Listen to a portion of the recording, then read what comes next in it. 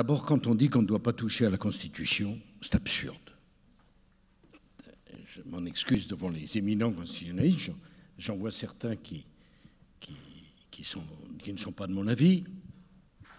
La Constitution organise le fonctionnement d'un pays, en tout cas au regard de ses institutions politiques et administratives.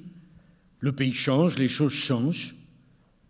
Et au fond, moi je suis jaurétien, c'est en allant vers la mer que le fleuve est fidèle à sa source. La fidélité à la Constitution de la Ve République, c'est de la modifier et de l'adapter à chaque fois que c'est nécessaire.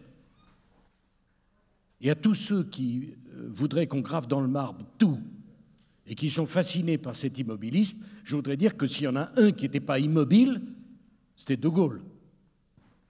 Donc cette idée de dire parce que c'est De Gaulle, parce que c'est 58, parce que c'est 62, il n'y a rien à changer, c'est absurde. Ça s'appelle le conservatisme, ça s'appelle l'immobilisme. Je le respecte. Je ne suis ni conservateur ni immobile. Je pensais qu'il était inutile de revenir au, septennat. On peut être pour, on peut le regretter, la décision de Jacques Chirac. Mais de toute manière, j'avais aucune envie de polluer ma réforme institutionnelle avec ce débat-là, qui est un débat dont vous ne sortez pas vivant, parce qu'il n'y a pas de vérité. Chaque position est légitime. Enfin, je veux dire, euh, on peut être pour le quinquennat, on peut être pour le septennat. Moi-même, là encore, je suis très hésitant.